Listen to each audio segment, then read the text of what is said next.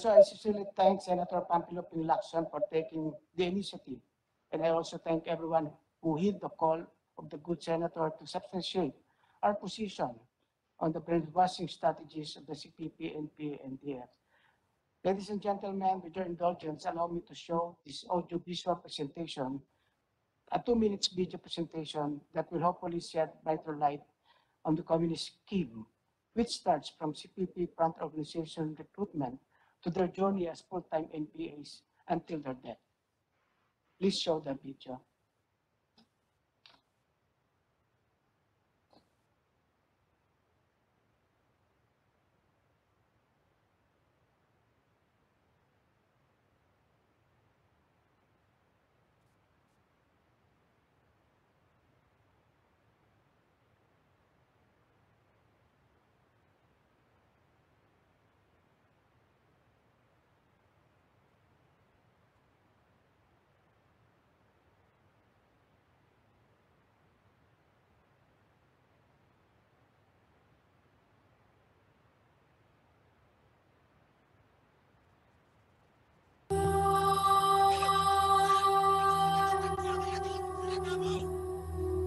Kasama sa labing apat na napatay na umano'y mga rebelde ay isang estudyante.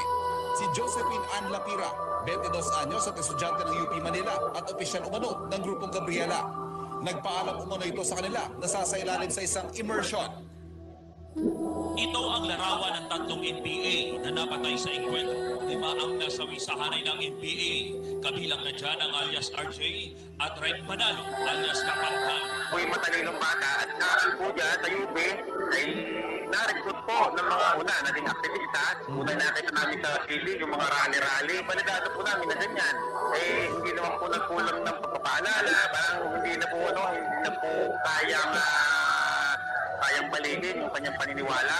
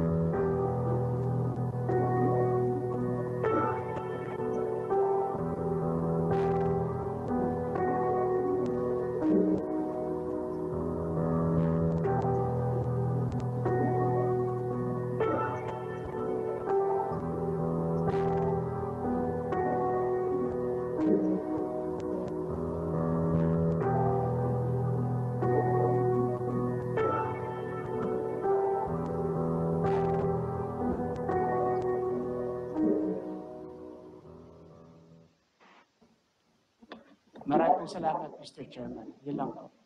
Mr. Chairman, Thank you, Secretary Ed Anyo. Yes, uh, Senator Risa Ontiveros, please. thank you, Mr. Chairman. Just, thank you, Mr. Chairman. Just a very brief comment. Speaking as a mother, and speaking as a long-time peace advocate as well, since the past three decades, but mostly speaking as a mother, tama po ba talaga, Mr. Chairman, na magpakita tayo ng ganyang mga video tungkol sa mga bata, mga anak ng mga kapwa magulang natin who are now dead and cannot speak for themselves. May I just make that of record, Mr. Chairman, at salamat. Yes, uh, Senator Ontiveros, thank you. This is part of the discussion. This is part of the red tagging uh, issue raised uh, against the armed forces of the Philippines, and they're here to present their side uh, of the issue.